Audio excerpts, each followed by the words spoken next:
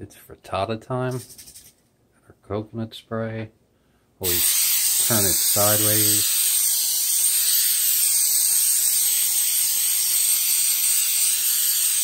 Nice liberal coating. That looks good. Then we have some julienne, three ounces, pepperoni. Actually, let's use the right hand.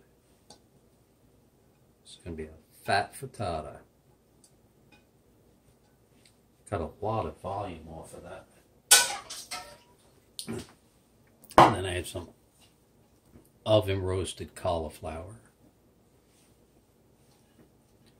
I baked it until it got that beautiful color and I coated it with Parmesan Romano cheese. You can see the leftover cheese in the bottom.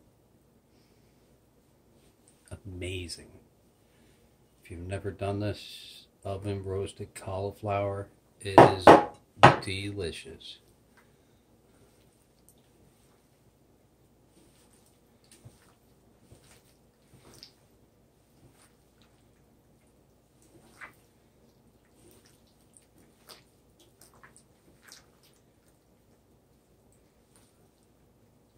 made a taco the other night with pepperoni and this oven roasted cauliflower. I was like, wow, these two go together unbelievably.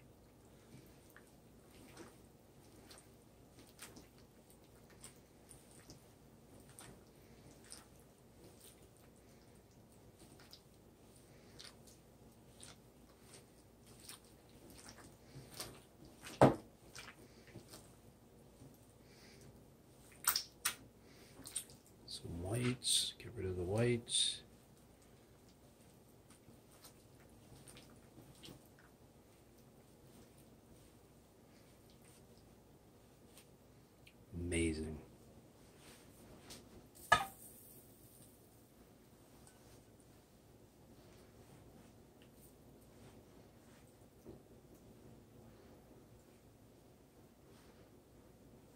Pepperoni here pepperoni there.